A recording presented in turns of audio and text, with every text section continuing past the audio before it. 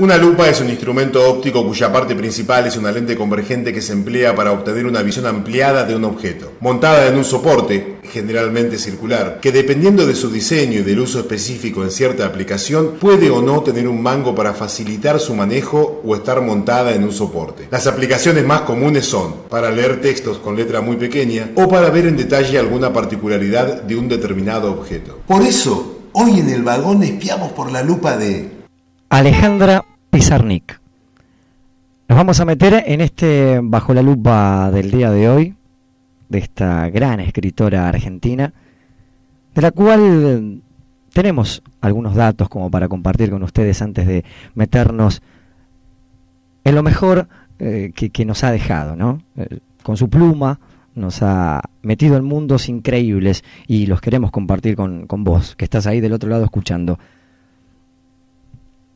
¿Qué podemos decir de Alejandra? ¿Qué decir de esta gigante, no? Bueno, que vivió 36 años. Parece simple, un dato menor, pero, ¿qué 36, no? ¿Qué 36? ¿Qué, ¿Qué legado que ha dejado?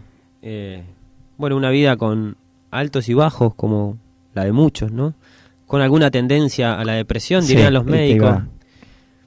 Eh, es un tema muy, difícil, ¿no? Pero lo que queda serán los que estuvieron en su círculo íntimo, la energía, su, su forma de hablar, de decir, de caminar. Y todo lo que tenía para decir, ¿no? Todo lo que nos ha contado, todo lo que, ha dejado. Digo, para nosotros que no estuvimos cerca de ella, nos deja toda su obra. Exacto. Yo me, les quería, hoy buscando algo de ella, me llama mucho la atención lo que dice la poesía, que bueno, vivió cuatro años en París, de 1960 a 1964. Ella viene una, de una familia em, europea que eh, nació acá en Argentina y crió a las tres hermanas junto con ella acá. Pero en el 60-64 se va a París. A París. Dice, en el fondo, esto lo escribe en 1965. Sí. Yo odio la poesía, dice Alejandra Pizarnik. Es para mí una condena a la abstracción y además me recuerda esa condena. Y además me recuerda que no puedo hincar el diente en lo concreto. Si pudiera hacer orden en mis papeles, algo se salvaría. Y en mis lecturas y en mis miserables escritos. Digo, ¿no? Como... Oh. Para entrar un poco en el mundo... En lo que era Alejandra, ¿no? Una, una, una, gigante y a la vez este, ella en sus circunstancias eh, nunca lo, lo pudo ver, ¿no? Era un peso que ha llevado. Yo creo que estamos hablando mucho. Estamos hablando mucho, vamos a meternos, ¿les parece? Alejandra Pizarnik en este Bajo la Lupa, aquí en el vagón.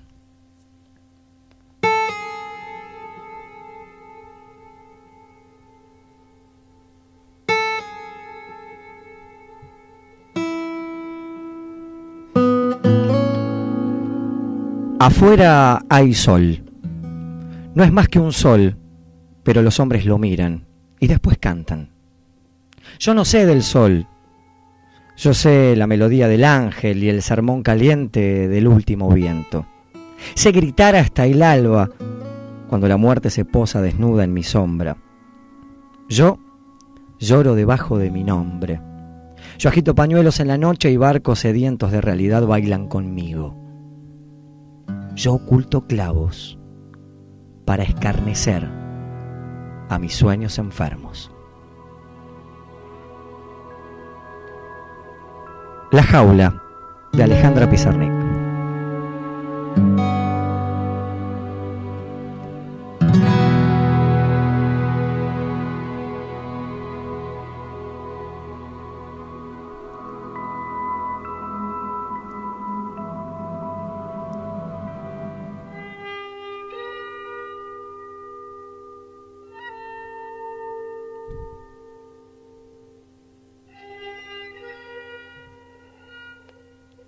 A León Ostrov. Señor, la jaula se ha vuelto pájaro y se ha volado. Y mi corazón está loco porque aúlla a la muerte y sonríe detrás del viento a mis delirios. ¿Qué haré con mi miedo? ¿Qué haré con mi miedo? Ya no baila la luz en mi sonrisa, ni las estaciones queman palomas en mis ideas. Mis manos se han desnudado y se han ido donde la muerte enseña a vivir a los muertos. Señor, el aire me castiga el ser. Detrás del aire hay monstruos que beben de mi sangre. Es el desastre, es la hora del no vacío, es el instante de ponerse rojo a los labios, oír a los condenados gritar, contemplar a cada uno de mis nombres ahorcados en la nada.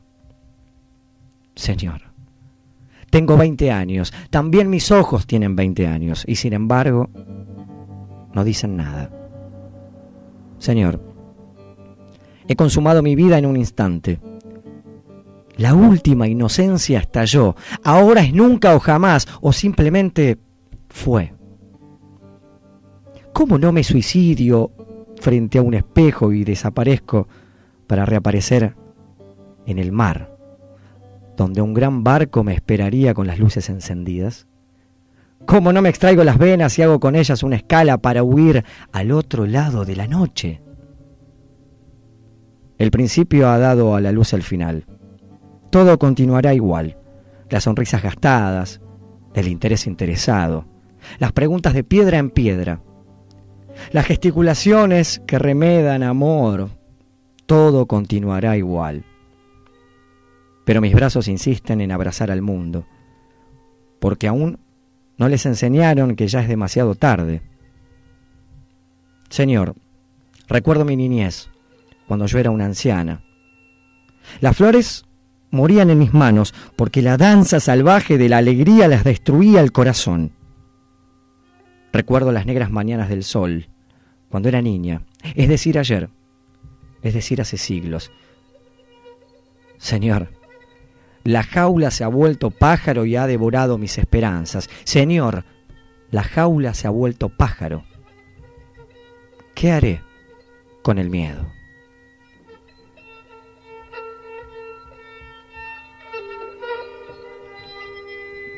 Bueno, acabamos de leer El despertar de Alejandra Pizarnik.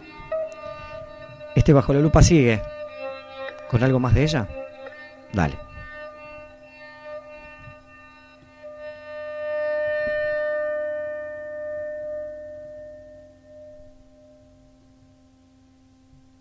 Aibón de Bordelois. Mañana me vestirán con cenizas el alba.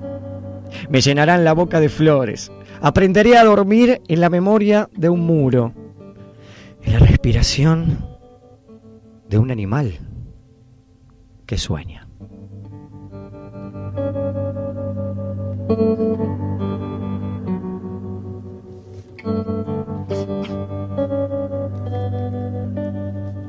Este ha sido el Bajo la Lupa, nuestro homenaje a Alejandra Pizarnik.